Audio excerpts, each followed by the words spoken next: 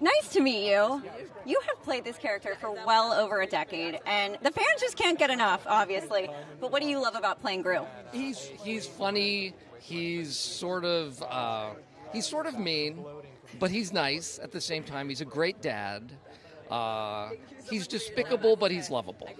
How close in re- of, of a real life dad are you to Gru? I'm exactly Gru. That's why they cast me. I'm the same person. I'm sort of despicable, but slightly lovable at the same time. You are lovable. And what did it mean to reunite with your anchorman here, Will Ferrell? It's been 20 years. I love him so much. He's the funniest and the most lovely person ever. And I would I would do any job anywhere with him. Do you have a favorite memory from that set? From Anchorman, uh, well, every day was just a laugh out loud, funny moment. And the, the, the hard part with him is not cracking up during a scene because he's always trying different things.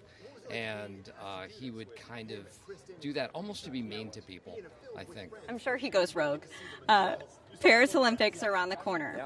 If you could win a gold medal in any sport, or it doesn't have to be a sport, what would it be? 100 meter. I would. you're. I would. Uh, n- no, I'm not. That's why. That's why it's a dream. Because I think you dream about things that you're just not capable of doing. Um, but yeah, to be able to run as fast as those people, that would be amazing. That would be amazing. Thank you so much. Enjoy today.